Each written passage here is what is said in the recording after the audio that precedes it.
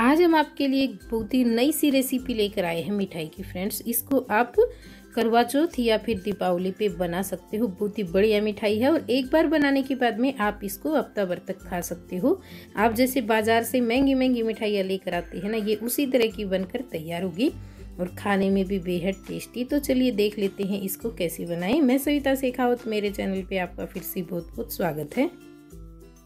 मिठाई बनाने के लिए सबसे पहले हम गैस के ऊपर कोई भी कढ़ाई या पैन रख लेंगे और अब इसके अंदर मैं डाल रही हूँ यहाँ पे दो कप मूंगफली दाना। आप मूंगफली दाना कौन सा भी ले सकते हो, बारीक वाला या फिर मोटे वाला दोनों से ये बन जाएगा। आप गैस का फ्लेम ऑन करेंगे और इस मूंगफली दाना को हमें एक बार तो गैस का फ्लेम थोड़ी सी देर के लिए फूल रखेंगे और फिर इसको मीडियम फ्लेम पे हमें लगभग आठ से दस मिनट लगेगा इसको सेकने में, लेकिन हमें इसको लगातार चलाते रहना है ताकि ये पूरी मूंगफली एक जैसी सीख कर तैयार हो और यहाँ पे ध्यान रहे, मूंगफली को अच्छे से सेक कर लेना है।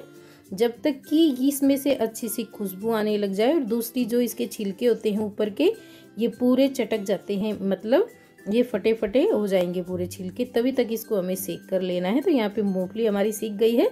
ठंडा करके पूरा छिलका निकाल देंगे इसका। जब इसका छिलका इस तरह से पूरा रिमूव हो जाएगा, उसके बाद में हमें इसको पीस कर लेना है।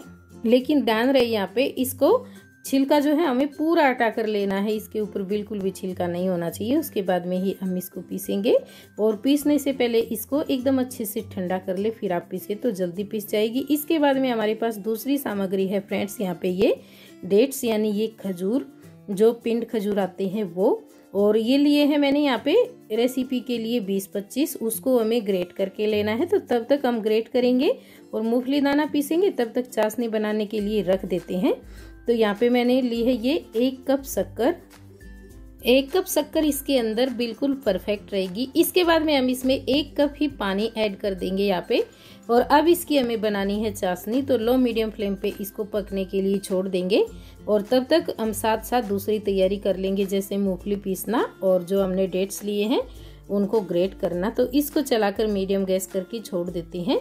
और यहाँ पे फ्रेंड्स, आप देख रहे होंगे, इसमें उबाल आ गया है और तब तक हमने हमारे यहाँ पे जो मूंगफली दाना लिया था, उसको भी पीस कर ले लिया है। इस तरह का बारीक, इसको हमें बिल्कुल बारीक पीसना है और इसी के साथ में हमने खजूर को भी ग्रेट कर लिया है। ये बिल्कुल आसानी से ग्रेट हो जाते हैं या फिर आप इनका जो गुठली होती है, उसको हटाकर और इसको मिक्सर में भी पीस सकते हो।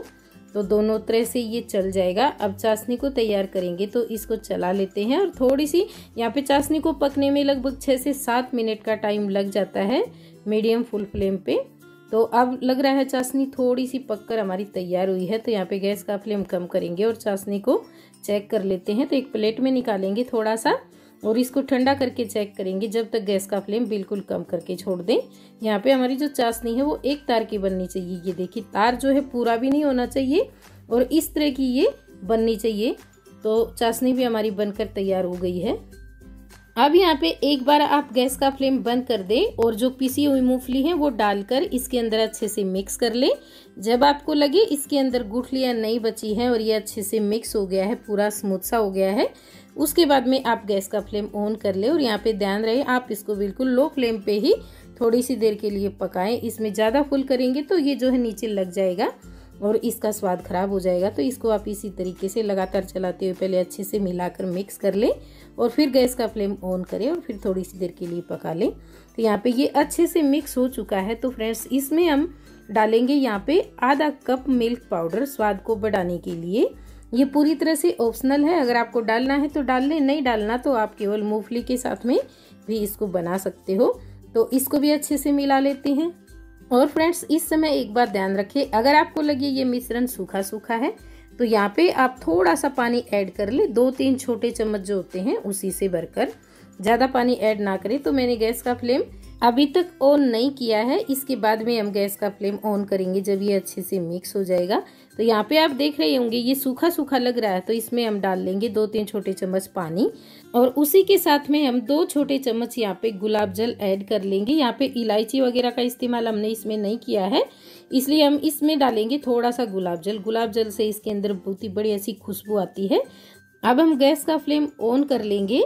और फ्रेंड्स, अगर आपके पास गुलाब जल नहीं है तो कोई बात नहीं है, आप इलायची पाउडर भी इसके अंदर ऐड कर सकते हो।